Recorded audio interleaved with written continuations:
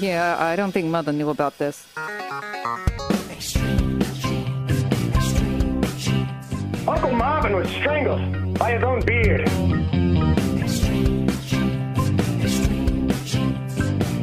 Yeah, never saw it coming.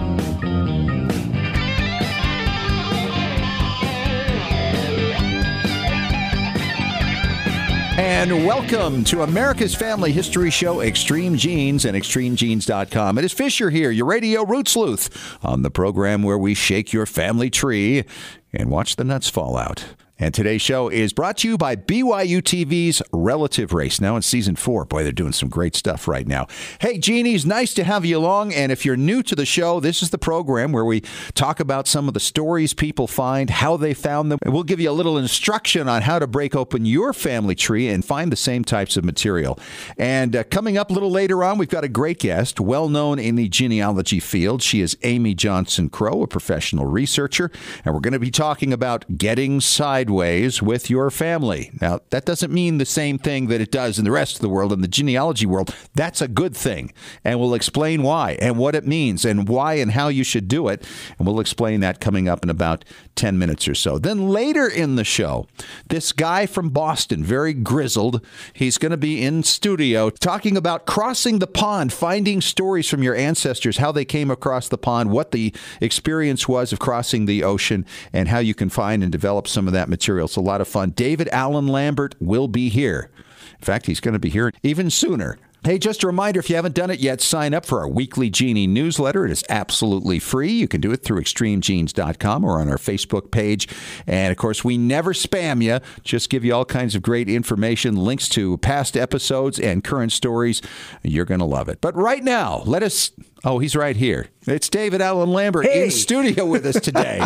nice to see you, bud. It's nice to actually see you in front of me. Yes, it doesn't happen that often, which is why we're going to do a bonus segment here a little bit later on with you. Hey, I'm glad I walked in. Pick that brain of yours. but uh, right now, let's get on with our family histoire news. We got a lot of good stories today to share relating to family history, starting with the greatest of all times, Muhammad Ali. This is going to knock you out. I'll tell you, the genealogical world has just learned that the great Muhammad Ali is actually the third great grandson of Archer Alexander, who was one of these people from history you probably wouldn't know about, but he is actually the model for the Emancipation statue in Washington, D.C. Yeah, with Lincoln mm-hmm. on that. Yes, it's somewhat controversial because it it shows Lincoln towering over this slave being you know lifted to freedom, but nonetheless he was the guy, and that's the third great grandfather of Muhammad Ali, and it was discovered because one of Ali's third cousins did DNA and did the work and figured it all out. What a great story! It's it's unbelievable the history that we find when we don't even think we're going to come across it. And of course, you know, I- I just hope that none of my third cousins find out any interesting stuff that I don't discover. Right. Hey, by the way, didn't you meet Muhammad Ali a couple of times? Yeah, actually, four times I got to meet him, and and every single time. Just a delight with anybody he met. He loved kids. He was pleasant. He was fun. He enjoyed himself. And it didn't matter how much people were pressing on him or demanding whatever it was. He was just one of the nicest people I've ever met. And I've met a lot of celebrities. And your kids met him too. I remember seeing a video that you put out there that at the time when they met them. yeah, they actually entertained him and he gave him a hug and a kiss. Can you believe that? Wow. Crazy stuff. Pretty amazing. Well, the next discovery is kind of a little close to home. A young lady from Kingston, Ontario, Kim McFarland, did a DNA kit, like most of us have with Ancestry, and she got a match, a half sister match, who's only five months difference in age from her. Oh, boy. Yeah. And dad's still living, too. Uh, yeah, that's that's what we see. Uh, Dad's got some splaining to do. He does. He does. But it's proven that this is not so rare. This is actually one of the things that the girls were concerned about that maybe Ancestry should give a warning. But well, they actually have that option already. Right. You can opt out of have, making your results public. I think the biggest problem with the warnings is nobody really believes they're going to be the one to get that strange match. Mm-hmm. And so when they do, that's just such a shock. And, and we've certainly experienced that personally watching other people. And you've even had a surprise find in your family, though not through DNA. Correct. Yes, I'm delighted that I have a half sister, Donna, who was put up for adoption that we never knew, and she's a welcome part of my family. And a shout out to Donna. I know you're listening. okay, so my next story is a little older. It's 3,500 years old, and it goes out to Switzerland. And this is in regards to a bronze decorated hand that was found.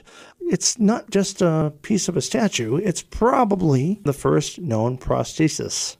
A prosthesis hand? Yeah, it looks like this person would have lost their hand maybe in battle or something. And, but yep, retractable fingers and the whole nine yards. It looks like something that's from C3PO. Wow. But uh, yeah, it's quite amazing. So that is now being looked into. Who knows? There may even be more such discoveries in this Yes, area. and and then kind of in keeping with this this ancient find, there was another one of a child in a in a burial situation way back from like fifteen hundred years ago. This is amazing. Yeah, this is out in a Roman villa. This is a 10 year old child. They're not sure of the sex. He was found with a limestone rock about the size of a bird egg shoved into his mouth. And what they're pretty sure is he was suffering from malaria. So part of it was to keep away the evil spirits and to keep the dead from rising and also potentially to keep the illness at bay. So they're thinking it's kind of like a Dracula burial. Right. Incredible. Just in time for Halloween. yeah, right.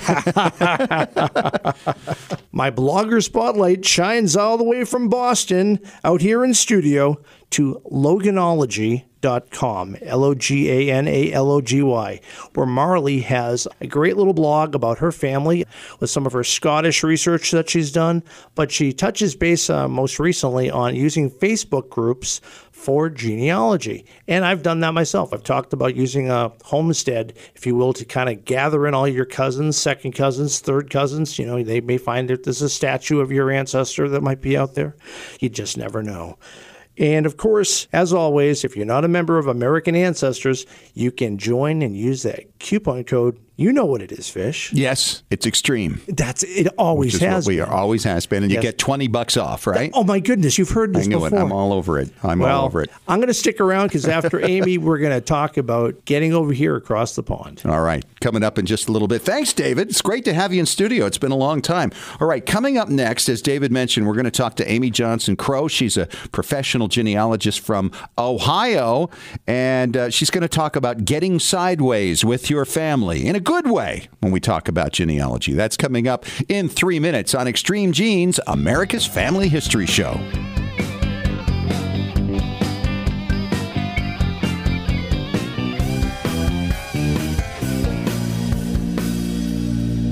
Hey, Genies, it is Fisher, and I got to tell you how excited I am to have Restore from Vivid Pix as a sponsor on the show. Now, Restore is a great software that fixes your pictures instantly. Think of it, just one click to bring those memories back to life. And it'll correct color, it'll correct contrast and lighting, and you'll wind up with nine different choices of fix to choose from. How cool is that? So all you have to do is scan your pictures and then take your choice and move on to the next one. That's how easy it is. That's why I like it so much. Now get this, you can go to extremegenes.com and click on the link to Vivid Pix and use Restore to fix 10 of your photos for free free. Yeah, it's a free trial. You're going to love it. Or you could also go to vivid-pix, that's P-I-X dot com slash extreme genes. Hey, reclaim your fading memories with the Vivid Pix Fix. It's the Vivid Pix Fix at vivid-pix.com slash extreme genes. Legacy Tree Genealogist is a proud sponsor of Extreme Genes. Based in Salt Lake City, Utah, near the world's largest family history library, we've worked with genealogists all over the globe since 2004 to track down records, find your ancestors, and the stories that bring your legacy to life. We also analyze DNA test results, help you join lineage societies, and find missing cousins. Legacy Tree is the recommended research partner of MyHeritage.com and is the world's highest client rated genealogy firm. Call us toll free at 1 800 818 1476 or register online to get a free estimate. Right now, you can save up to $100 on professional genealogy research. But hurry, this offer expires at the end of the month. Even experienced researchers can benefit from our proven and experienced staff of specialists who can bring new approaches to old problems. Learn from our free genealogy tips on our blog at legacytree.com slash blog. Legacy Tree Genealogists. We do the research, you enjoy the discoveries. Hey, Genies, Fisher here with a shout out to our Patrons Club members at patreon.com slash extreme genes. This is where friends of the show support Extreme Genes for as little as a dollar a month all the way up to the cost of a very nice burger each month. I mean, a really juicy one. You can support the show and enjoy various special Patrons Club member benefits, such as acknowledgement on extremegenes.com, special bonus podcasts from expert guests like Maureen Taylor, the photo detective, CeCe Moore, your genetic genealogist, great storytellers and experts on record sets from all over the world. We even offer expert advice on specific questions challenging your research. So go to patreon.com slash extreme genes and get signed up. We love sharing your genealogical journey with you on our Extreme Genes Patrons Club. After all, what would you rather have? Inspiring and informative content or another greasy burger? The choice is yours. And thanks for supporting Extreme Genes.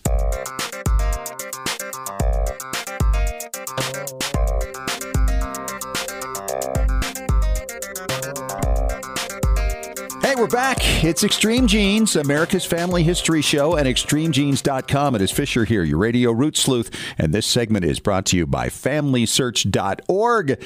And it was my recent pleasure to meet for the first time, after having heard about her for many years, the famous Amy Johnson Crow at the Federation of Genealogical Societies conference in Indiana back in August, and, and she has agreed to come back on the show. Hi, Amy. Good to talk to you again.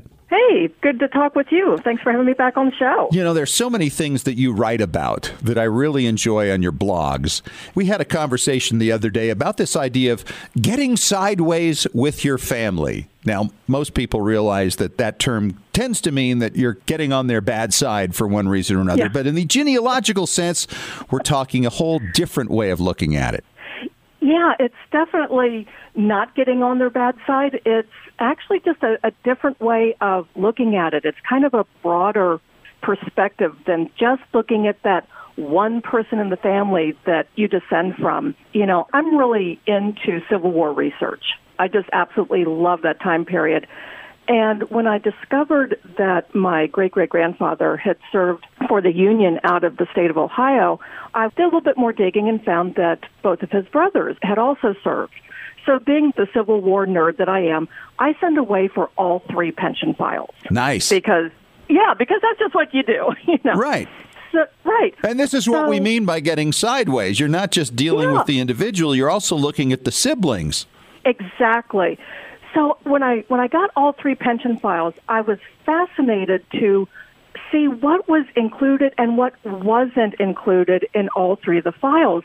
You know, because here we have brothers out of the same family and they're serving not in the same units, but they're all serving from the same county. So, backtracking just a little bit, my third great grandparents came from Scotland and settled in Washington County, Ohio, where they had 11 children. Wow. You know, nice big, yeah, nice big family. Well, they had 11 children from what I could tell from census records and from the, the will of my third great grandfather.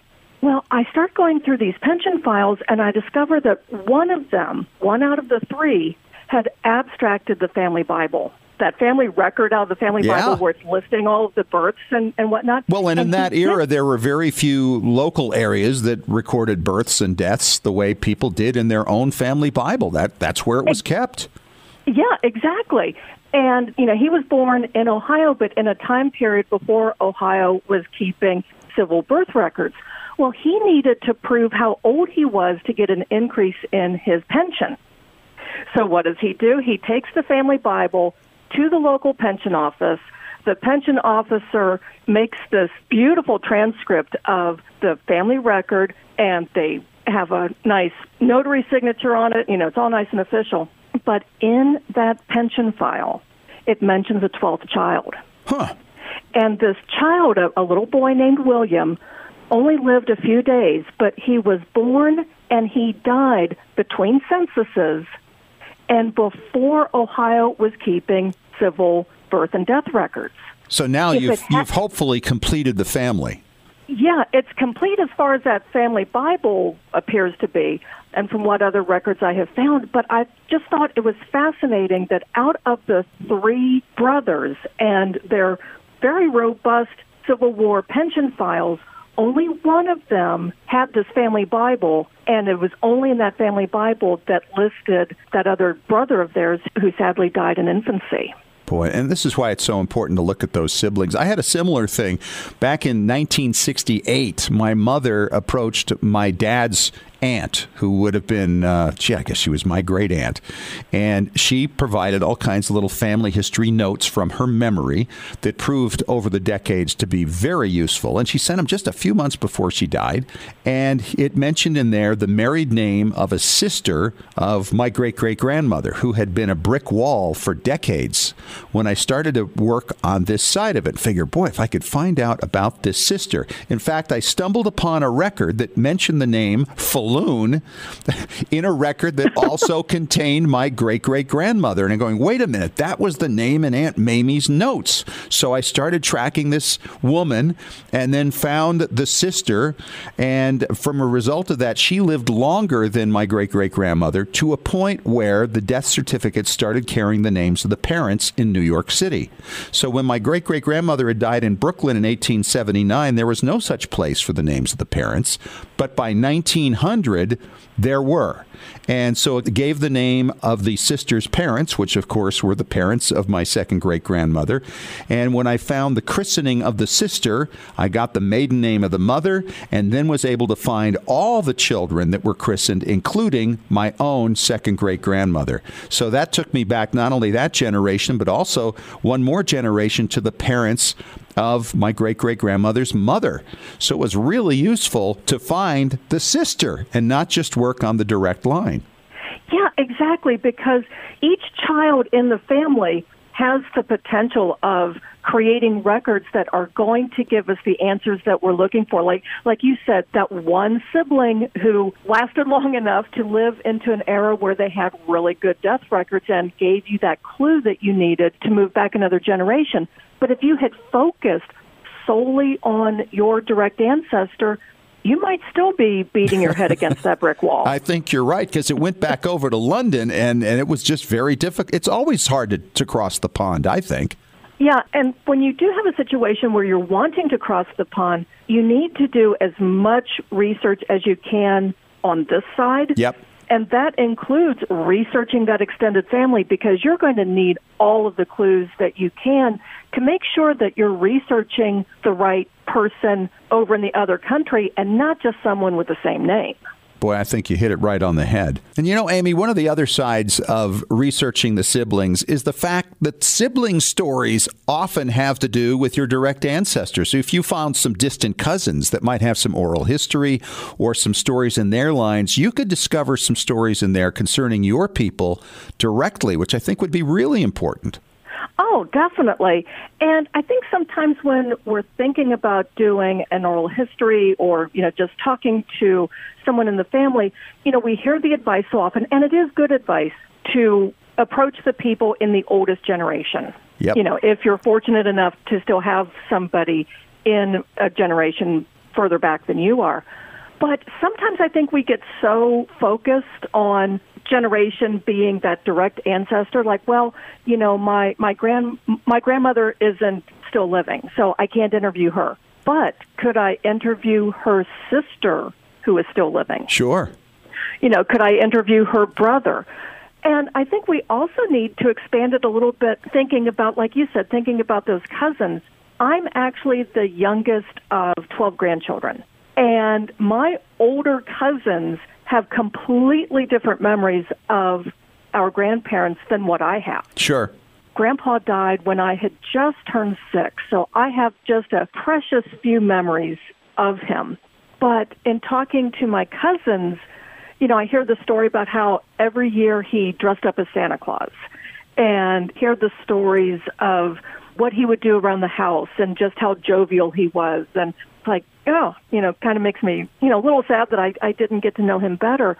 But I think we need to pull out some of those stories from people even within our own generation, but who have a different perspective on things that that we have and things that we've experienced. Because no two people are going to see the event exactly the same way. Right. And especially generational right? I mean a child Yeah. looks at an adult a completely different way than say a sibling or a peer or a friend because Mm-hmm. they, they experience them as adults obviously and have that adult like relationship and people are different around children. And it's it's fun to hear how they were in their different roles within life Right, and I think it's so neat if you can find someone who knew your ancestor younger than you remember them. yeah You know, I, I look at pictures of my dad, and it's like, wow, dad, you know, Yeah. you were you, yeah, You It's were like, young uh, once. yeah, yeah, you were young once, and you had hair. Um, and talking to people who knew him when he was in high school or when he was just starting his business, it's something that obviously I would never be able to experience firsthand. And sometimes, you know, even though I can still ask dad different things, sometimes it's interesting to get someone else's perspective. Well, no kidding. And, and the other Yeah. side of this is is that dad doesn't necessarily remember all these other things. You know how it goes. Everybody has a little Oh. collective piece of memory somewhere. But you know, really what we're getting down to here is that no person is an island. And they have experiences essentially in relating or having experiences with other people.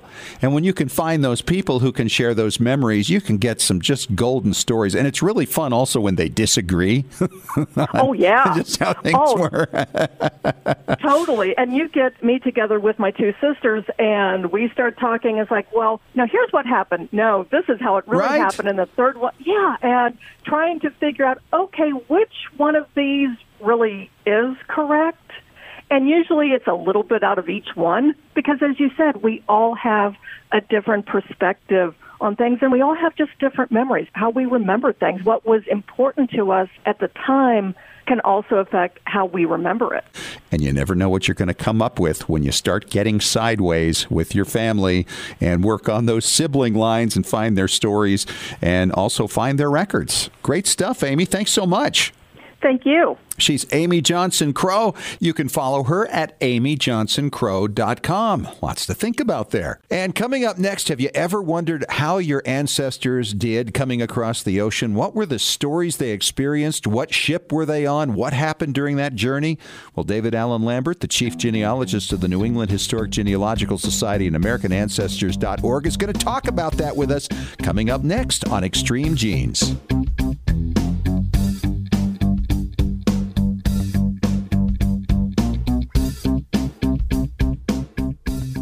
Looking for an easy way to show off your family history and share it with your family? Family Chart Masters offers beautiful custom pedigree art pieces and inexpensive family reunion draft charts in any design or size that fits your needs. With a free consultation at FamilyChartMasters.com, you can get started creating a new family masterpiece. Family Chart Masters has over 11 years of experience in creating and printing family charts. They can print any style genealogy chart from any genealogy file and can create exactly what you're looking for. You'll work with a specialized and talented consultant whose goal is to make you happy. Decorative charts make fantastic gifts for all occasions. And with Family Chart Masters option of ordering duplicate charts at half price along with your original purchase at full price, you can afford to give a family heirloom to each member of your family. Contact Family Chartmasters today at FamilyChartmasters.com for your free consultation. Family Chartmasters will give the greatest care to your family history.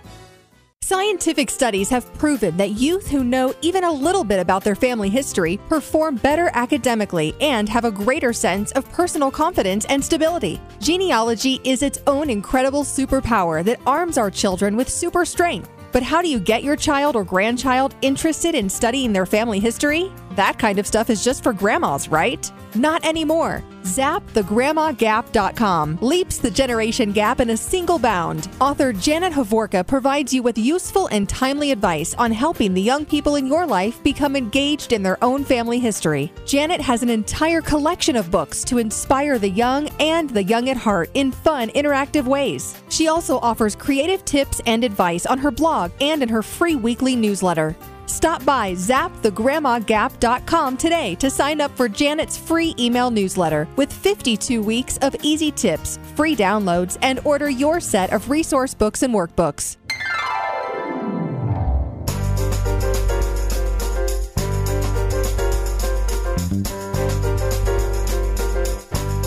And avast! Welcome back to Extreme Genes, America's Family History Show and ExtremeGenes.com. Fisher here, your radio root sleuth, with my good friend David Allen Lambert. He is the chief genealogist of the New England Historic Genealogical Society and AmericanAncestors.org.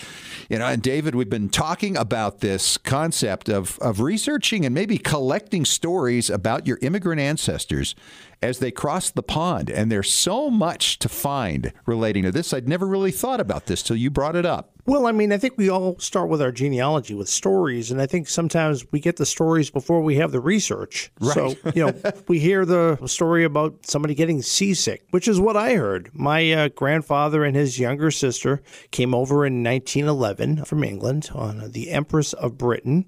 Water was going over the top of the boat. It was heavy seas, and they got sick. So, a little nausea goes a long way because that's a story that stuck out from my childhood. And I thought they came over when my grandfather was eight years old. Came over when my grandfather was nearly 10 years old. So, a little different there. I was looking for the wrong date. So sometimes you have these stories that add color, as disgusting as it might seem to think about seasickness as being part of your your only snippet of your family's adventure to come across to the new world. But think about it. If we have these stories for the Mayflower passengers, I think I know somebody who has somebody Yeah. who came over nearly 400 years ago. Well, it's funny you say that because I think my Mayflower ancestor had the best story about crossing the ocean, and that was because he fell overboard. yes. And we're talking about John Howland, and I know I know many of our listeners are also descended from him. He has, I think, the second greatest number of descendants out there. But coming across the ocean, there was a big storm, and the, the ship was being tossed to and fro, and there was a break in the middle of it, and everybody was down below, and you can imagine how it smelled down there. Oh. All these people. Uh, this would have been in 1620, and so John, sensing the break, decides, "Hey, I'm going to go back up on deck." And he does, and this monster wave comes and jerks the ship sideways, and he's thrown into the drink. Right. And the next thing he knows is he is 10 feet underwater, and he's just flailing around down there, and he feels the rope from a halyard mast hanging in the water. He grabs it, pulls himself back to the surface, and using a boat hook, the crew of the Mayflower pulled him back on the ship, no doubt with great scorn. Oh, I'm sure. And he went back down and he went on to marry and have 10 children and 88 grandchildren by the time he and his wife died. And this is why they put pools on cruise ships. So Yes. people would not decide to jump overboard and go for a swim. Exactly. Well, the stories that come are just amazing. I had another great great who came across in 1882, and in the journal on the ship, it talked about how someone had died and they buried them at sea. And I'm sure he had to witness that. And, and, you know, you don't think about these things. You just think, well, he got on the boat here and he got off the boat here. But what happened in between? Well, you know, it's funny. Um, during World War One, a lot of the passenger ships, like the White Star Line Olympic, which was a sister ship to the Titanic, that transported my great grandfather and his units across from Toronto, Canada, all the way to England. It was decorated with camouflage, but you know, I would just know the name of the ship. But no, they're war diaries, so they talk about the longitude and latitude and where they are, and if they spotted any U-boats, the whole nine yards. It's it's really detailed, so you can occasionally find diaries people have written down. Or better yet, postcards they sent. My friend who was on the Titanic, Millvina Dean, who was the youngest passenger, when she came out to Boston one time, she showed me a postcard her mother mailed from Cherbourg, France, when they had picked up the last group of passengers before they were going transatlantic, and it's postmarked the RMS Titanic. Wow. Yeah, so I mean, we don't even think about trips now. You know, you get in a plane or a train or we just drive. But think of the anxiety our ancestors must have leaving all that family behind. And how are they detailing this? I mean, I almost feel jealous when there are people that have family that have come over in the past hundred years because they have stories. A majority of mine came over in the 1600s to the 1700s. Right. I don't have any stories like that. No, because the records aren't usually that strong. Now, the Mayflower is kind of uh, an exception to Mm-hmm. that because there was a great documentation of the entire experience for the pilgrims and the strangers and all those who were with them. But you think about it, I think a lot of people who, who say, wow, I, I can't go back that far because I have a lot of recent ancestry and it's tough to get things, say, from Eastern Europe. But what a history you could put together if you just collected the stories of the trips across the ocean and made a little collection of that. Right, and not everybody came into the port of New York. I mean, they think of Ellis Island. I mean, before Ellis Island, as you know, Castle Garden. Castle Garden, yeah. But there are other ports. Boston, Philadelphia, Portland, Maine. I mean, New all the way, Orleans. Right. And I mean, how about the person that was tracing their research and thought that their ancestor was going to come into New York and it was New Orleans? New Orleans, and and that's to me is a mind blower. I mean, it's rare, Right. But it does happen. And, Got on the wrong boat. I thought you said New York, the- it was New Orleans. They had the ticket folded. They Right, didn't see the other side. and there was the language barrier occasionally, too. Yeah, maybe that was uh, the case, but nonetheless, they had to find their way north pretty quickly. So I, I guess our listeners, if you have stories about your family coming over, and it's not obviously written in the passenger list, it's not written in the naturalization record. Have you written it down? If not, why not? It's Right. So important.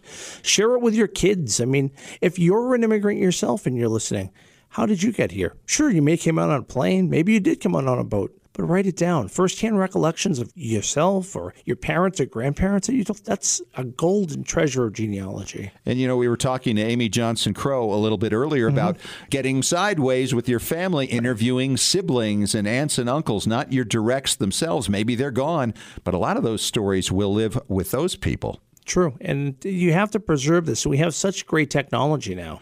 Well, and the records of the ships and the military ships, and there are photographs too. I know Ancestry has a lot of the photographs of the ships that brought our ancestors across. There is. There's a great book that's still in print called Ships of Our Ancestors, Yes. but you can use something as simple as Wikipedia.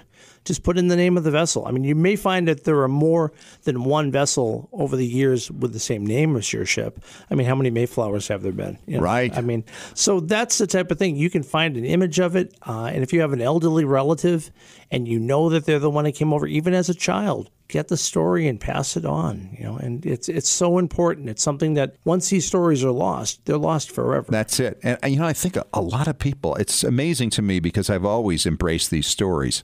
It's amazing to me how many of these stories are lost. You know, the, the thing I often hear from people when I talk to them is, Oh, I wish I had asked her that question. Oh, I wish I had known at that time, you know, what, how much I would miss this. But you grow into it. Well, right. I mean, even as a child, when I interviewed my grandmother, who was alive till I was 11, I mean, I asked her the birth, marriage, and death questions. What filled into a chart? I heard other stories, like the one about her dad being on a whaling ship. So that's kind of a vessel story in its own right. But I don't have any of the specifics, but you don't know what her parents did or did not tell her. Sure. So sometimes it's lost a generation before the one that you're interviewing. Yeah, there's so many. What other sources are there, David, to find out about ships of, of the ancestors? Well, obviously, if your ancestor applies for a citizenship, you get the date of arrival and generally the port, and then all you have to do is look at the manifest. I mean, and so many of these are online now. Sure. Between Ancestry and uh, things that Family Search has put online for free, you can get into so many of them. The Ellis Island website, Castle Garden, you can go on and search for people. That's right kind of the- really, isn't it? And it should be. it is, uh, and like I say, just knowing the difference between the two. When you go out to get your boat across to Ellis Island, remember where you're getting your ferry from is where they were before Ellis Island. That's Cas- right. Castle yeah, Garden. At the very south end of Manhattan Island. And that's the battery. The other thing you can use is newspapers. If you know that somebody came down on, uh, say, a boat from Canada, as some of my family did, look at the uh, local papers and see the arrivals. I mean, you'll see the boats that are arriving, or maybe even better yet, find an ad for your ancestor ship or buy something on eBay, like a menu that came from the ship. You can get that stuff. Yeah. It's out, or postcards. It's out there. It's great stuff. Great conversation. Thank you so much, David. My pleasure. Good to see you. Tom Perry's next, talking preservation on Extreme Genes, America's Family History Show.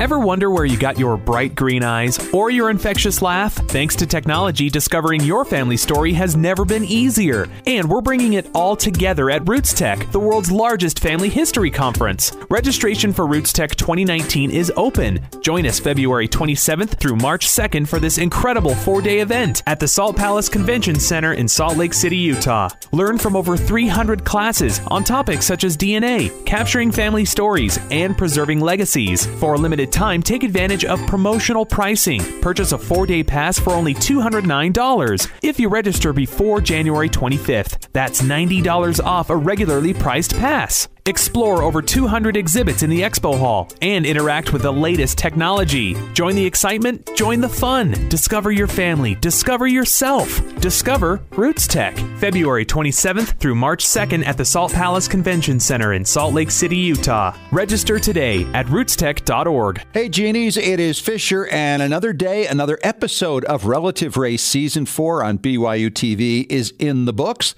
And this was a particularly fascinating episode this past week as Team Green, Paris, and Precious found themselves in New Orleans visiting with a cousin of Paris. And as it turned out, she too was adopted and was trying to find her bio dad.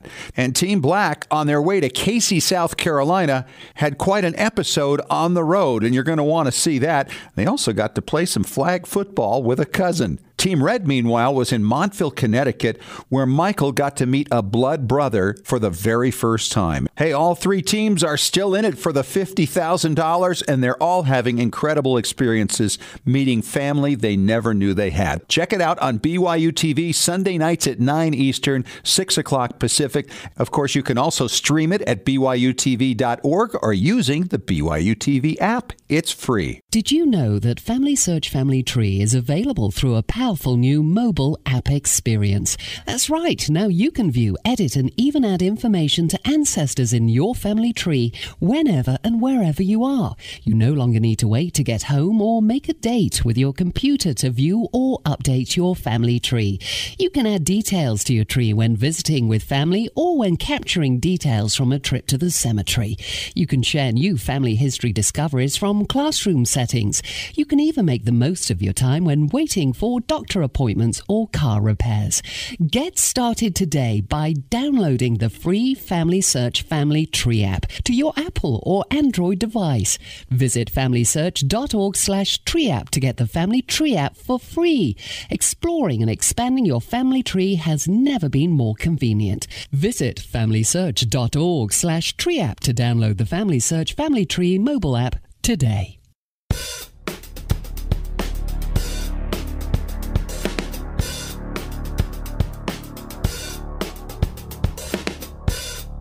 It is time to talk preservation on Extreme Genes, America's Family History Show, and ExtremeGenes.com. Fisher here, your radio root sleuth. I got Tom Perry with me on the line from TMCPlace.com. He's our preservation authority. How you doing, Tommy? I'm super duper, thanks. You know, it's really interesting. You and I were talking a little off the air about this. We've heard so much about millennials and not wanting things, and yet we're finding out that the physical and analog and all these old timey things are coming back into the realm, and that certainly has something to do with family history and preservation, does it not? Oh, absolutely. In fact, like we were talking off air, you know, our mad scientist Marlo from Heritage Collector, his software now, he went and did some surveys with all of his people to find out what direction they wanted him to go the most and what they were the most interested in.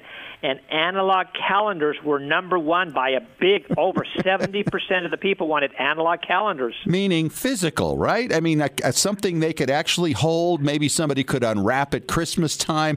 But of course, there's also a digital component to that because you got QR codes on there too, right?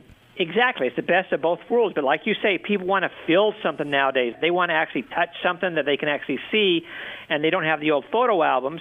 So this is a great way to bring all of your different pictures together by making a calendar. And it's not just like 12 pictures. You can have multiple pictures. You mentioned the QR codes.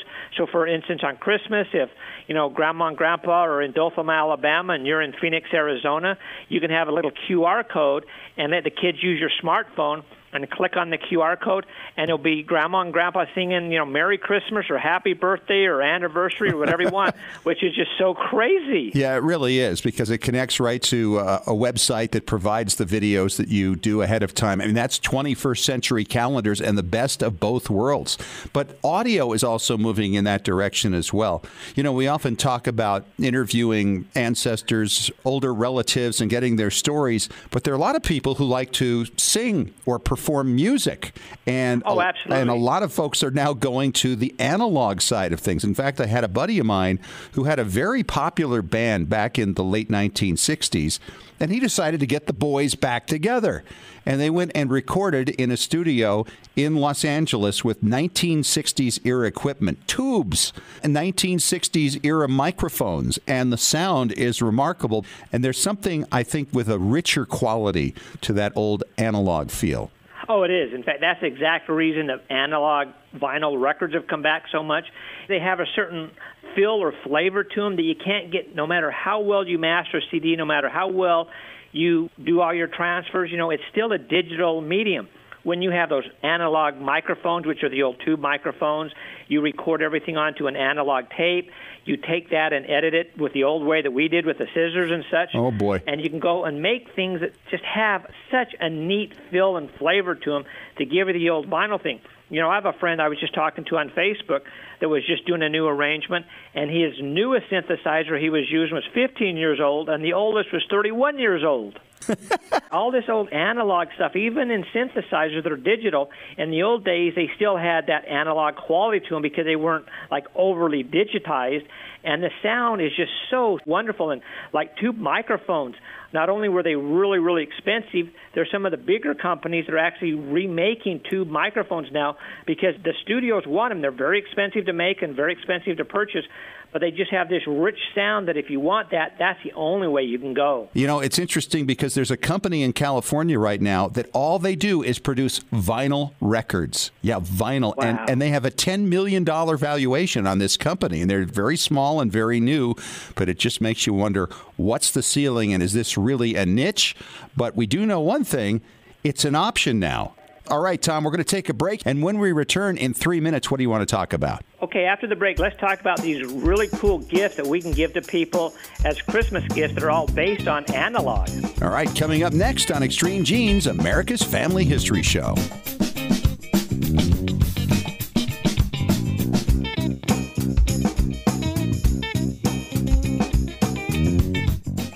Looking for an easy way to show off your family history and share it with your family? Family Chartmasters offers beautiful custom pedigree art pieces and inexpensive family reunion draft charts in any design or size that fits your needs. With a free consultation at FamilyChartmasters.com, you can get started creating a new family masterpiece. Family Chartmasters has over 11 years of experience in creating and printing family charts. They can print any style genealogy chart from any genealogy file and can create exactly what you're looking for. You'll work with a specialized and talented consultant whose goal is to make you happy. Decorative charts make fantastic gifts for all occasions. And with Family Chartmasters option of ordering duplicate charts at half price along with your original purchase at full price, you can afford to give a family heirloom to each member of your family. Contact Family Chartmasters today at FamilyChartmasters.com for your free consultation. Family Chartmasters will give the greatest care to your family history.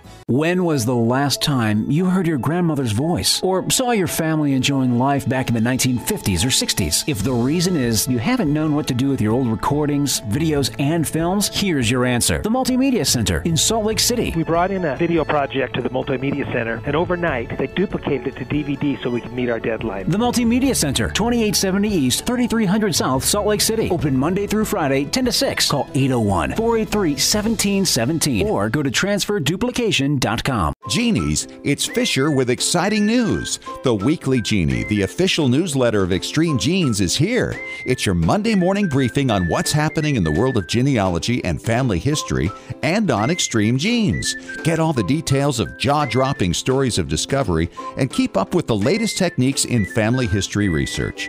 Get to know more about your favorite Extreme Genes personalities, and it's free. Sign up for the Weekly Genie now at extremegenes.com or the Extreme Genes Facebook page. And when you do, you'll receive David Allen Lambert's top 10 tips for beginning genealogists from the chief genealogist of the New England Historic Genealogical Society. Sign up today for the Weekly Genie.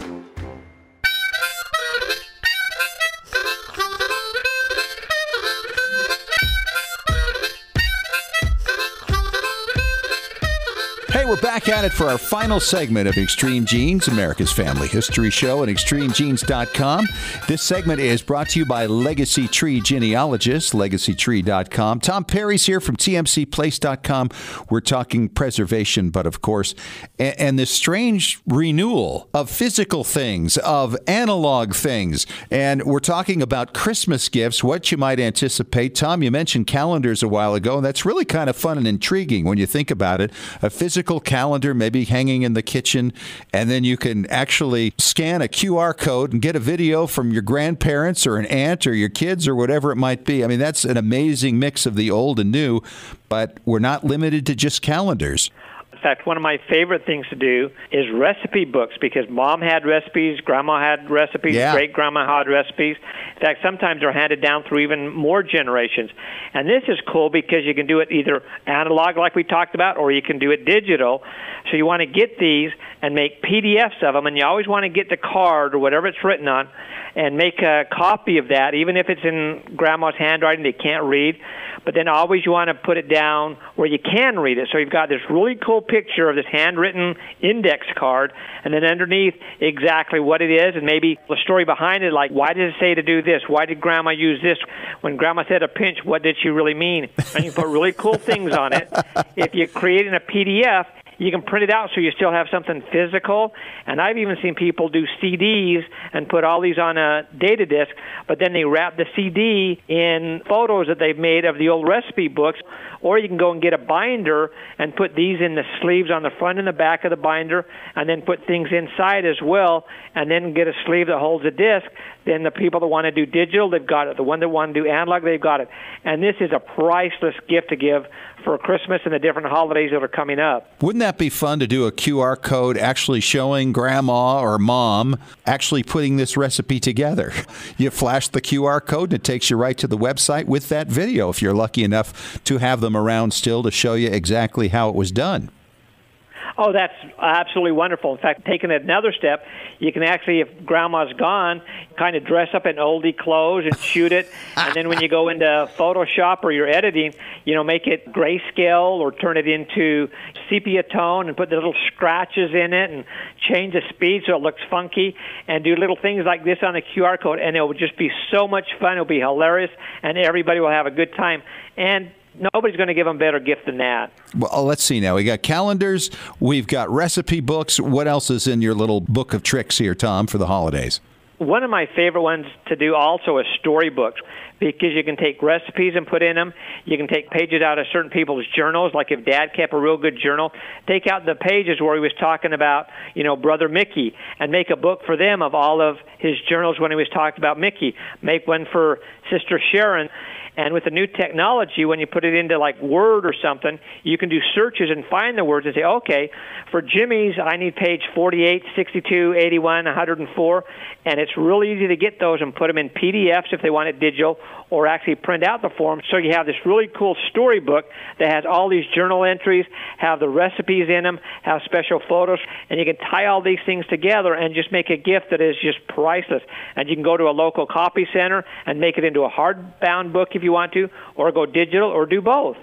Wow, you're making my head explode again. You do this all the time on a regular basis. Oh, absolutely. I love it. All right, Tom. Great suggestions, great ideas. The old is coming back to merge with the new for a whole unique kind of gift experience for these holidays. Talk to you again soon, Tom. Thanks so much. you bet. My pleasure.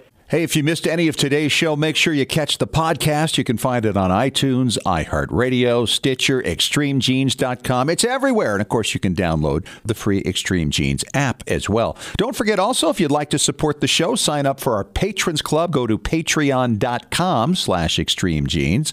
Hey, we'll talk to you again next week with some more great guests. Thanks for joining us. And remember, as far as everyone knows, we're a nice, normal family.